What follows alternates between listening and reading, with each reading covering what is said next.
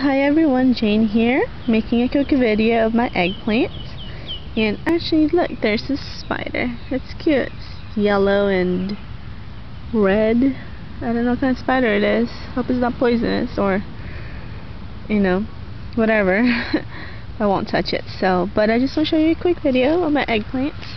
It's doing really well. As you can see, it's about to flower. There's three of them right there, and there's couple more right there. And I love it because it's shooting um side um leaves. And maybe eventually it'll produce more flowers for vegetables for an eggplant.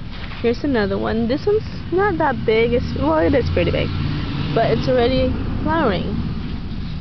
So it's getting there. It's getting big. And interesting enough when I bought this at Home Depot it was actually it was twice this size. This one is not doing so well. I transplanted it last night because I actually had it under this big leaf. It was right there. And as you can see look how big that leaf is compared to my hand. It wasn't getting enough sunlight so I had to move it to the side and hopefully it gets better. But I bought it twice this size and look at this one now. It's big to compare it to that one and this one. See how big it is? And it's already flowering, so I'm really glad. Doing good, and in the background are my beans. My beans are doing pretty good too.